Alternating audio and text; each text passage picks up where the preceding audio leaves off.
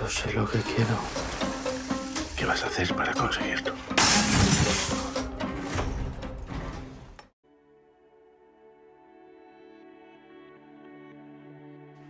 Escape. Vamos a hablar de una película del director Rodrigo Cortés que se va a estrenar el día 31 de octubre. Nada, eh, hoy estamos a 30, pues mañana se estrena. He leído muchas críticas, eh, muchas recomendaciones de, de qué va la, la película y la novela, porque está basada en una novela de Enrique Rubio, pero eh, se me ha ocurrido, tengo una tesis, una hipótesis que me encantará eh, bueno, explicar a- para mis seguidores del canal de YouTube. Vamos a ello. Escape, lo he titulado así, Escape o un viaje al útero materno. Dicen los expertos que la etapa uterina es la más gratificante de la vida humana. Tan solo eh, tiene un inconveniente, no podemos recordarla. Aunque cuando queremos reparar los traumas acudimos pues a la infancia para encontrar el origen del, del daño. Pero la pregunta es, ¿acaso nuestra vida comienza después de nacer? Es importante recordar y comprender que en el vientre materno es el origen de nuestra vida presente, pasada y futura. Cuando los bebés nacen están llorosos, intranquilos y solo parece que se calmen eh, acercando al bebé al pecho materno, que oiga el corazón de la mamá, que siga oyendo el corazón de la mamá, el olor, eh, la voz, en fin, han salido de un medio eh, absolutamente pacífico y sin problemas para llegar a un mundo hostil donde todos son inconvenientes. Hace frío, hay hambre, ya no están recogidos eh, en la difícil eh, transición de la vida intrauterina a la vida real. Los bebés, una vez nacidos, pues la verdad que no quieren volver al útero, vamos. Eh, es un hecho totalmente imposible y si fuese posible hacer la prueba y colocar al bebé realmente de nuevo en el vientre materno sería bueno, una fase de, echarse a llorar eh, y después que, bueno, que se moriría de asfixia. Y todo esto mmm, viene a cuento para hablar de la película basada, como repito, en una novela de Enrique Rubio, que según el propio autor dice que Escape es una historia del conde de Montecristo, pero al revés, uh, la historia de Papillón, pero al revés, o la fuga de Alcatraz, al revés. Bueno, organizado en siete capítulos, como los siete enanitos de Blancanieves o los siete pecados capitales. Bueno, esto lo puedo comprar. Otro tema, que el tema de la, de la identidad invisible. Bueno, la necesidad de borrar la propia identidad en función de los tiempos modernos, eh, que todo tiende a anular eh, nuestra identidad, el anonimato de las masas, ¿verdad? Una sociedad eh, de masa donde todos somos anónimos en el fondo y lo queramos o no, no tenemos ni nombre ni rostro, solo un número.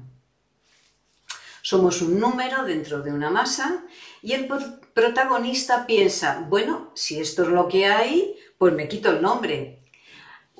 Además de la necesidad de estar alimentado por el papá y la mamá representados por el Estado, bueno, pues este tema mmm, también lo puedo comprar.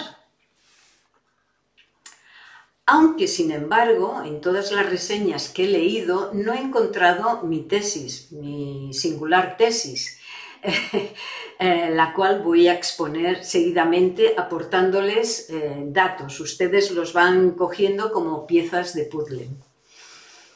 Eh, ya en técnicas de, hipnosis hay un apartado, una terapia en el que existe la regresión fetal, ¿no? A fin de curar, de conseguir curar heridas emocionales, mmm, bueno, es una pista. Hay varios elementos que nos ayudan a interpretar al individuo, el personaje principal de la novela y de la película. Quiere no tener nombre, lucha por no tener nombre hasta el empecinamiento, hasta la obstinación más rebelde. Va al registro civil a quitarse el nombre, quiere existir sin nombre, logra salir de allí, claro, llamándose solo con el número de, identidad, ¿no? de su DNI. Tiene una pataleta eh, de desacato con un juez, bueno, eh, monumental, el desacato y el juez. Eh, su proyecto de no nacido, de no nacido, va por buen camino, aunque ese camino esté repleto de calamidades. No hay que, no hay que tener prisa, el individuo se llama 77 no sé qué guion H. Está cumpliendo con las fases de su proyecto. El proyecto sigue porque cava un túnel para vivir en la cárcel. Bueno, sí, está emperrado en vivir en la cárcel, apenas se comunica con la gente que le rodea, es decir, que no quiere decidir en nada relativo a la vida. Repito, eh, cava un túnel hacia la prisión donde será cuidado, protegido y con un número nuevo, claro está. No tiene nombre, pero le han asignado el 66 no sé qué. Sale de la cárcel, vale, delinque, entra en la cárcel, hasta que este desafío tan irritante llega al director de la prisión. Director, un demente, entre paredes de hormigón de dos metros de grosor me he olvidado de un detalle simbólico, eh, apuntarles como pista, y es que mientras cava el túnel, mm, pica en la pared que le conduce a la cárcel la primera vez, ¿verdad? Pues mm, bueno, eh, este, este esfuerzo lo reemprende cada día, ¿verdad? Cada día se va a esa pared y empieza a picar y avanza y avanza en ese túnel, ¿no? Entonces, el detalle de ese túnel eh, muy simbólico es que está en la luz, en la luz final del túnel, que, que, lo vemos, ¿no? Y esa luz, en lugar de ser blanca o azul o amarilla, pues no, es de color rojo, ¿no? Como el útero de una madre. Volviendo al director de la cárcel ante el comportamiento tan errático del individuo y con una cualidad eh, que admiran los, eh, los, funcionarios de prisiones, eh, nuestro protagonista sigue y consigue medidas más radicales para él y extremas, ¿no? Como por ejemplo el sótano, la celda de castigo, donde la oscuridad es extrema. Esa oscuridad como los bebés cuando están en la barriga de las mamás. ¿no? La vida y el recorrido de este individuo tan singular llega a un punto, a tal punto, ¿no? de ser encerrado en una habitación de una cárcel de alta seguridad perdida en el fin del mundo, ¿verdad? Sigue llamando la atención, eh, bueno, con su cabezonería, y viene al pelo lo de cabezonería, porque mm, en repetidas ocasiones pues intenta machacarse la cabeza. Claro, el resultado es que lo ponen en la cama, atado de pies, manos, eh, en fin, abdomen, cabeza, está está súper atado, bueno, es que es, un peligro, ¿no? Y, toman esa decisión.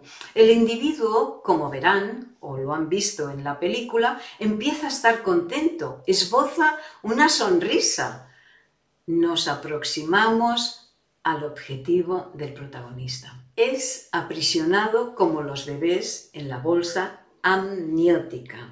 Sus movimientos reducidos a la mínima expresión. Su existencia está al cuidado de todo el personal de la cárcel de alta seguridad ha conseguido no tener nombre, como los bebés no, nacidos, de pocos meses de existencia, y es aprisionado, alimentado, cuidado, es el centro de atención como cuando la mamá es cuidada por los familiares en los meses de gestación.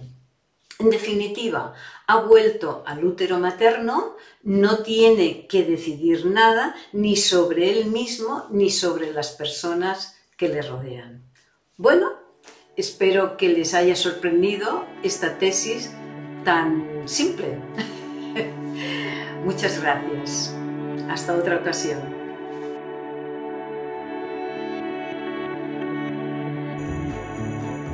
Buenas noches. Un loco está robando la sucursal del Continental. Parece peligroso. Tranquilo. ¡Arréstame! Tengo derecho a ir a prisión. tendrá los derechos que yo le vaya diciendo. ¡Protesto! Venía a cambiarme de nombre, pero prefiero quitármelo. No me parece muy bien. Nombre y DNI. Porque a ti el rollito este atormentado te va a durar mucho. Matarte. Si es peor luego, Sí que estás jodido, chaval. Sé lo que quiero.